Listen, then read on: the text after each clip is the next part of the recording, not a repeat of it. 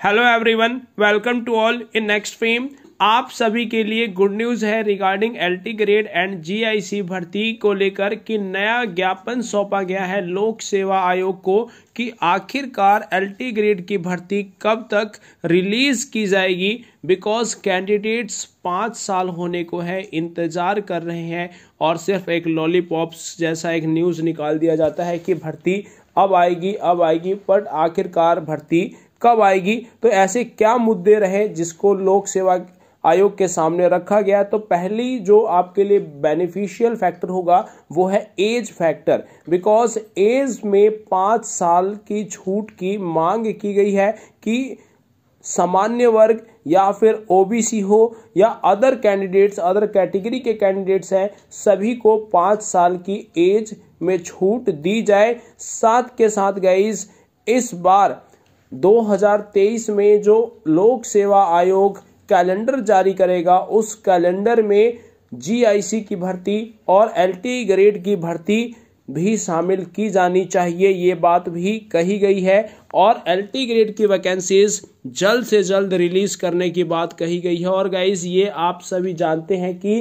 अहर्ता विवाद के कारण अभी तक भर्ती रिलीज़ नहीं की गई है। और यह हर्ता विवाद सिर्फ़ एलटी ग्रेड में ही नहीं है। साथ के साथ बीईओ की वैकेंसी में भी अहर्ता विवाद है और पीसीएस की भर्ती भी रुकी हुई है।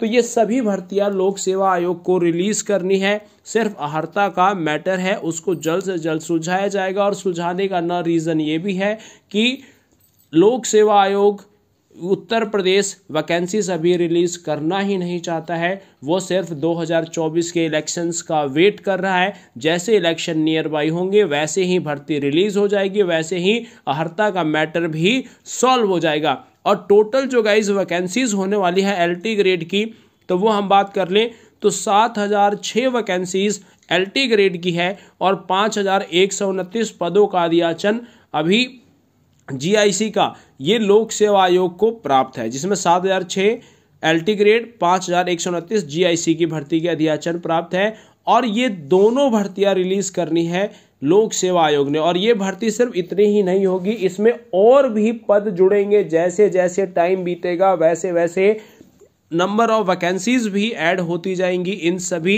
पदों में। तो गाइज़ आपके लिए सुनहरा मौका है राजकीय स्कूल में लगने का और उसके लिए प्रिपरेशन अभी से स्टार्ट करनी होगी। टाइम वेस्ट नहीं करना होगा। बिकॉज़ भर्ती तो आज नहीं तो कल तो आनी ही है।